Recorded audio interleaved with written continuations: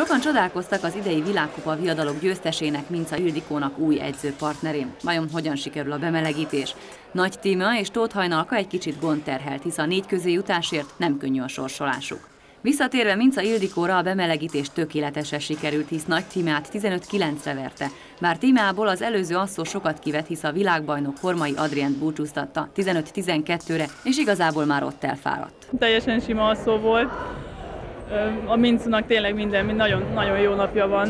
Most, most nem voltam valahogy itt idegileg, szerintem szívesen ment el az asszó, mert, mert az, hogy az ember annyi passzét szúr, az, az szerintem pszichésen magyarázható. Talán pszichésen magyarázható a szemben látható Tóth Hajnalka veresége is. 7-6-os állásnál egy vitatható találat után nem tudta feldolgozni a zsűri döntését, és végül 15-10-re kikapott Szalaitól. Igaz, az asszó után Körösi László tanítványa elismerte, hogy nem csak ennek köszönhető a vereség. Talán ebben az asszóban jött ki az olimpiai csapatba való kerülés feszültsége, hisz négy kitűnő versenyző pályázott a kiadó három helyre. Minca Ildikó, Nagy Tímea és Szalai Gyöngyi mellett a tartalék most Tóth Hajnalka lett. Megnyugodtál? Hát valamelyest.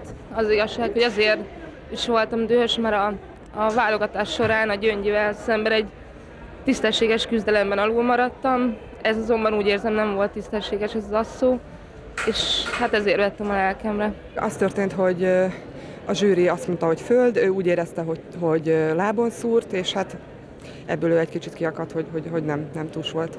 És te hogy érezted, hogy melyik volt? Én úgy éreztem, hogy eltalálta a lábamat, de hát sajnálom, nem tudtam oda menni a zsűrihez és azt mondani, annyira éles volt, hogy én úgy éreztem, hogy szükségem van arra, hogy, hogy kettőbe legyek, hogy bizonyítsam, megint csak bizonyítsam, hogy, hogy meg tudom őt verni, mert hogy egész évben nem az, hogy őt megverni, hanem hogy jobb vagyok, mint ő, hogy, hogy helyem van ebbe a csapatba. Így, így a válogatás során egy kicsit érzékenyebb lettem, jött válogatás után, hát le kell nyugodnom. Ennyire fáj ez a vereség? Hát ez a, az önbecsülésem miatt azért számított volna. De bebizonyítsam magamnak, hogy csak meg tudom mutatni.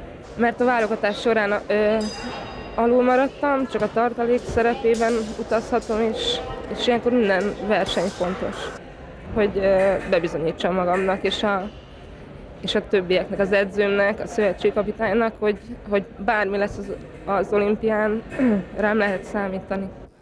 A jobbra látható Minca Ildikó a döntőben 9 hétre vezetett 4 másodperccel a vége előtt. Szalai Gyöngyi ez idő alatt egyenlíteni tudott, de győzni már nem. Így az MTK versenyzőnője Mester 3-ast ért el a női párbajtőrözőknél.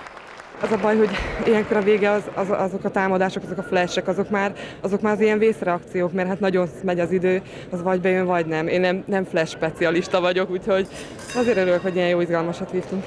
Jött egy rövid zárlat. Én se tudom igazából, hát majdnem sikerült elrontanom egy olyan négy vagy ötösos vezetést, akkor alig volt hátra idő, de hát ezt csak magamnak köszönhetem, szóval majdnem elrontottam. Aztán az utolsó egy percre én voltam a kedvezményezett, ez jól jött, és akkor össze tudtam magam szedni az egy tusra.